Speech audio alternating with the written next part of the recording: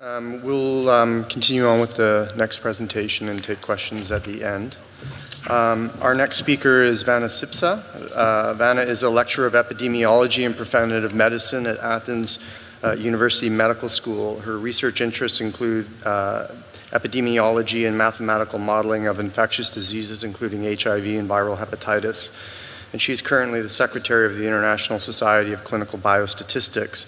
And the title of her talk is Trends in HIV-1 Incidence During an Outbreak Among Injecting Drug Users in Athens, Greece, Results of a Serobehavioral Survey, the Aristotle Program. Thank you very much.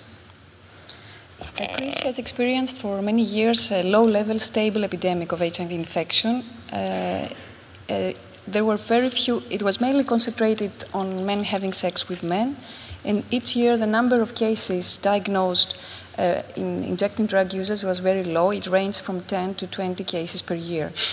However, since the first months of 2011, it was apparent that there was an outbreak in this population. And at the end of that year, the number of cases diagnosed in 2011 was 16 times higher as compared to 2010. Aristotle program was an intervention that was implemented in response to this outbreak. Uh, primary aims of, these programs, uh, of this program uh, were to screen as fast as possible as many injecting drug users as possible in Athens metropolitan area where the outbreak was taking place, to provide them prevention, treatment, and care as designated by international organizations, and eventually to contribute to the decrease of transmission in this population. People who were eligible to participate were, were uh, persons who had injected drugs in the past 12 months, lived in the area of Athens, and were 18 years old uh, or older. In order to be able to uh, recruit this hard to reach population, we used uh, respondent driven sampling, RDS, which is a chain referral method that uses monetary incentives uh, to recruit people, and also people receive monetary incentives to, re to uh, recruit other people, uh, uh, to draw people from their network and recruit them to the program. Uh, during Aristotle, we collected blood samples and tested them for HIV infection. We also performed LAG testing to identify recent infections. And we also performed interviews using an extended structure questionnaire that was based on the questionnaire of the National HIV Behavioral Surveillance System for IDUs that is performed in the US. Very briefly, once participants arrived at Aristotle site, uh, we checked for eligibility, asked for their consent. If informed consent was obtained, we collected blood samples and performed interviews. At the end of this process, people were paid their primary incentive, received three coupons to recruit other people, I received a pack, a pack of 25 low dead space syringes with injecting paraphernalia and leaflets with uh, information, and they were asked to return a few days later to, correct, uh, to collect their HIV test result. And in case they were found to be HIV positive, there was dedicated staff uh, that was uh, helping them uh, responsible for referral to antiretroviral uh, treatment and also for priority referral to opioid substitution treatment because in Athens there is a waiting list to enter this kind of programs of several years, but if you are found to be HIV infected, you have priority. The program was designed uh, in five consecutive rounds of uh, respondent-driven sampling. In each round, the target sample size was approximately 400 people.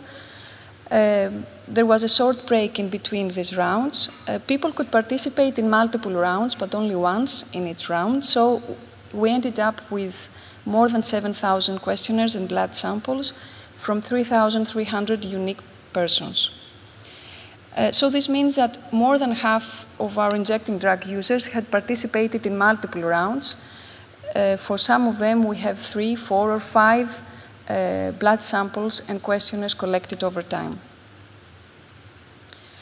Concerning the prevalence estimates per round, the, the red bars uh, show the crude estimates of HIV prevalence, whereas the blue bars are uh, the estimates after adjusting for this RDS design.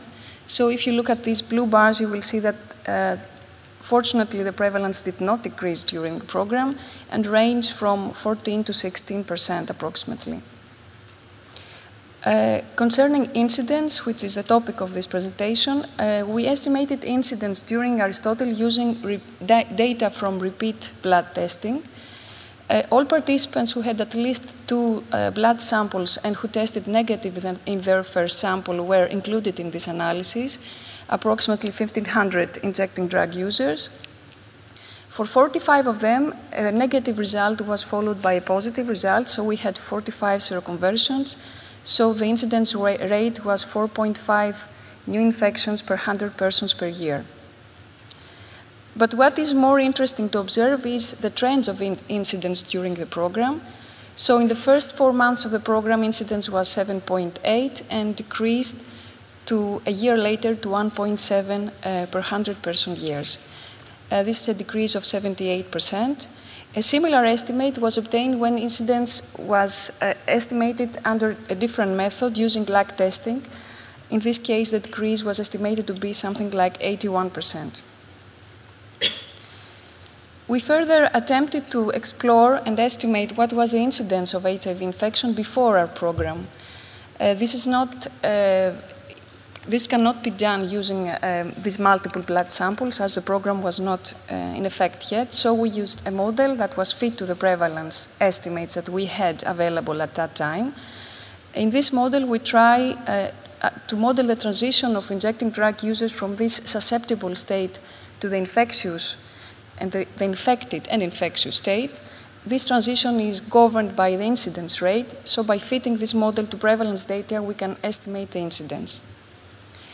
Before Aristotle, in, two, in, years 2010 and 2011, prevalence estimates were available from the Greek uh, National Treatment Monitoring Center. So in 2010, prevalence was 1.7%. In 2011, it was 10%. And in 2012, uh, the estimate that we had obtained from Aristotle was 19.5, the crude estimate. So by fitting the model to these data, we obtained uh, an estimate for the incidence before Aristotle. This is a solid line that is shown in this graph. The dashed line is what the model projects uh, in the absence of Aristotle, and the solid line with the black squares is what we have actually estimated during Aristotle. So at the end of 2013, the incidence was 88% uh, lower than that was projected by the model in the absence of um, this intervention and other possible changes, such as, for example, change in the behavior of injecting drug users. In this graph, you can see the monthly number of cases uh, uh, reported among injecting drug users since before the outbreak, during the outbreak, and until the first months of 2014. You can see uh, a peak when Aristotle had started in the number of diagnosed cases. Uh, the number of new cases reported in the first months of 2014 uh, is low. You can see also the timing that the different interventions were put into place. The first response was to boost opioid substitution treatment programs and needle and syringe programs, and Aristotle was implemented a few months later. Another question that we would like to assess is if it is possible to separate out the effect of this intervention from that of other concurrent interventions uh, during the outbreak uh, of opioid substitution treatment and needle and syringes programs. Uh, this is not an easy question to answer. We tried to assess it indirectly. So we, we had questions uh, in this questionnaire that I mentioned before, um, asking our participants whether they were currently on opioid substitution treatment program. You can see here uh, the proportion reporting per round that they were on OST. Uh, from 11.5%, this reached to 25%. Uh, it's surely an increase in the coverage, but still, uh, I guess you will agree with me that the coverage was suboptimal. Concerning needle and syringes programs, uh, there was a question uh, addressed to our uh, participants whether they had received free syringes in the past month. The red bar indicates a proportion of injecting drug users reporting that they have not received syringes. And actually, from this figure, you will see that this proportion uh, is getting worse instead of uh, improving. So during uh, Aristotle, there, there, doesn't seem to be a scale up of needle and syringes programs. So overall, uh, during uh, Aristotle program, we have seen a large uh, decline in HIV incidence.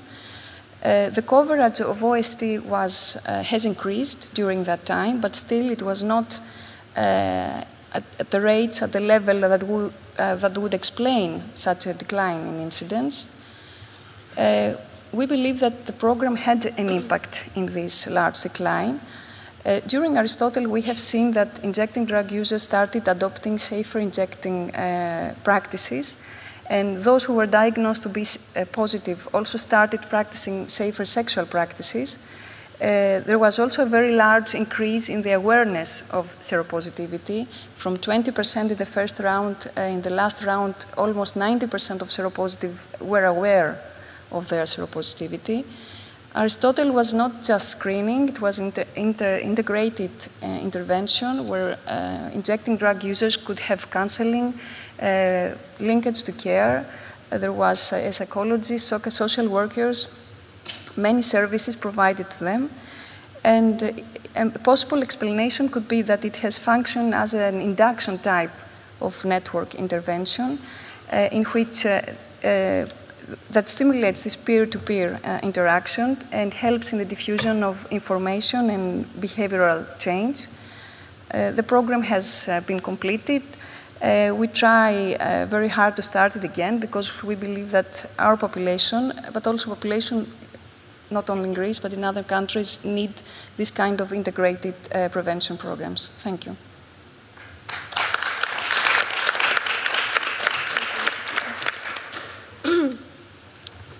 Thank you very much, Vana.